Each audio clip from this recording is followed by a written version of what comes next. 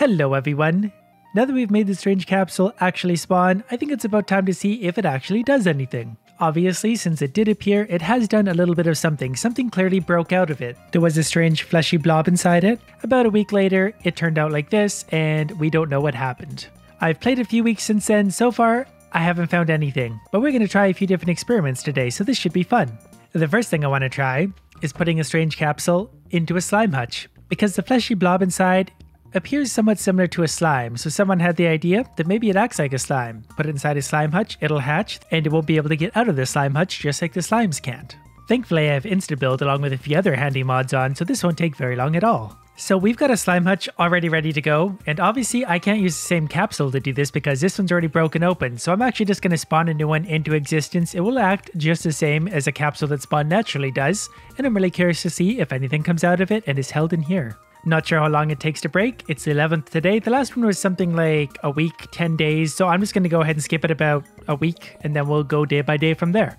Oh, and as it turns out, tonight we're getting another capsule to spawn thanks to a mod. So let's go see where this one landed. That's the original. We should have a new one pulsing somewhere in the field.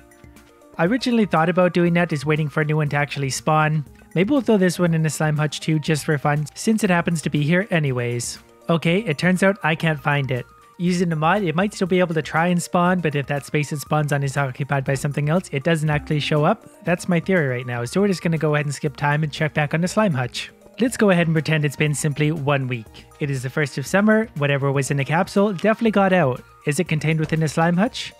No, it is not. That was worth a try though, that was a really interesting theory that someone presented to me during a live stream. So that is two fleshy blobs unleashed on this world. Still not sure if they're anywhere out there. Next, we're going to try putting one in our very own house. And just to show you exactly what it says about these things, so it will appear in your farm just like this after the UFO event. You pick it up, there's something fleshy bobbing around in the fluid. So there's definitely something inside that gets out. So we're going to go ahead and put this in my bedroom.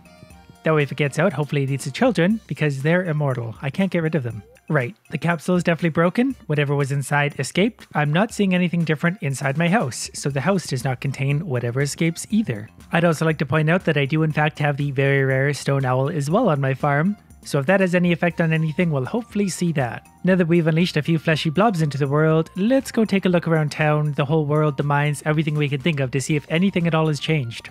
The bus tunnel is a little out of the way place, it doesn't really have a major use, I thought there might be something here. There's not. It's conceivable that if the alien was hostile, it would want to take over the town or the world, starting with Mayor Lewis. Gardening is a hobby of mine, so I'm excited for this warm weather. That does seem like something typical that an old person would say, so I'm assuming the slime did not affect Lewis at all. Upon arriving at the beach, we have a heart event, but it's just Elliott. An oddball himself, but definitely not what we're looking for. Nothing to see at the beach, I've checked end to end.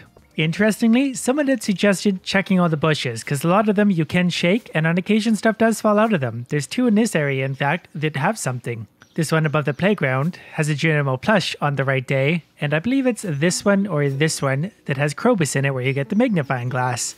So I'm even going to check all the bushes as I make my way through town. Linus seems like an oddball source of wisdom, maybe he knows something. During all these years I've discovered a few secrets about life. Are you trying to tell me something about this strange capsule, Linus? You'll have to find out for yourself. He may or may not know something, but he seems unwilling to share. Nothing seems out of place at the quarry, it seems to be its usual boring self. Since we're in a neighborhood, let's try the bottom of the mines. Definitely nothing here, with the exception of two strange snakes wrapped around pillars. The sewers is something that's often suggested. Maybe whatever the little monster is likes the other little monster named Krobus. There doesn't appear to be anything out of sorts. Do you know anything about it? Krobus means bridge crosser in our language and my name means bridge burner. Since we're here, we're going to give a try to the mutant bug lair, which is one of the last places you'd unlock. And if you found the strange capsule, you probably unlocked everything in the game because it's so damn hard to find. Nothing in here but a lot of really, really annoying bugs that just spawn out of nowhere. As I'm going, of course, continuing to check all of the town's bushes. You know what? If anyone is going to have any knowledge of the strange capsule or anything at all, it's going to be the wizard. I trust you enough to allow you in my basement. Treat what you find there with respect.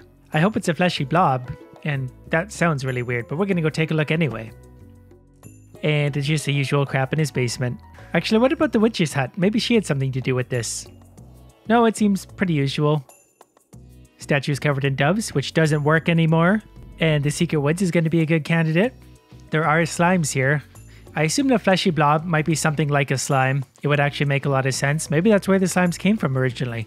Maybe that's all they are. We could pretend they came out of the strange capsule because there's nothing else here of note.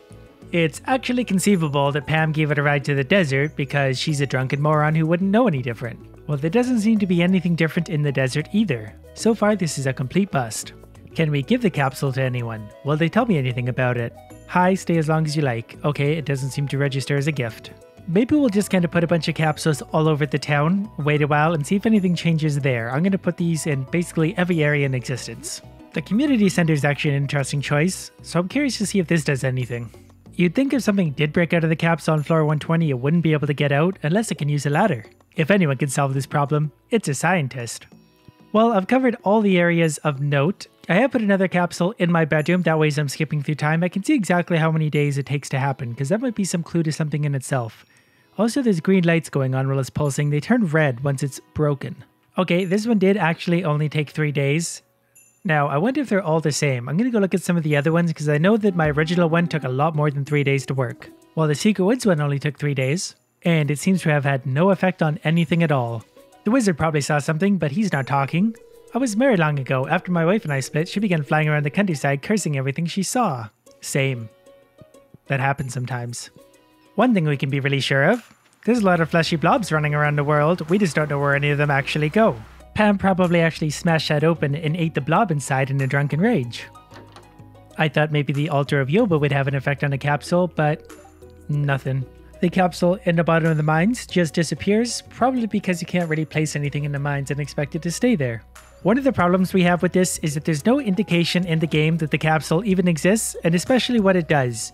Usually anything in the game is referenced even somewhere obscurely in some kind of text. I don't think there's actually anything at all that says anything about the capsule. So that leaves us with no clue as to what it does, if it even does anything. As far as I can tell, it does it. It just shows up and it's very rare for even that to happen. Clint, have you seen a fleshy blob? And I'm not referring to Pam. The weather doesn't really matter to me. I typically stay near my shop year round. You're an exciting guy, Clint, a really exciting guy. I feel at this point I have only one thing left to try because maybe whatever happens just triggers after the passage of time.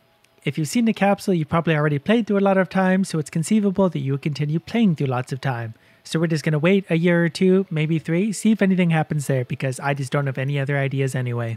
Well, that was fun. Some years have passed. We definitely got some new items in our field. There's definitely one new owl statue there. There's probably a few others around because if you were spawning, you tend to get about one per year of the owl, capsule, or meteor.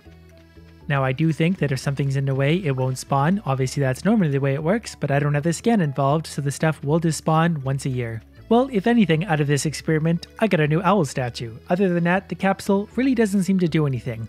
I had my doubts that it did originally, but I just can't seem to find any use for it at all. If anyone out there has a use for it, do let me know. Let me know your theories. Other than that, hope you liked it. Thanks for watching.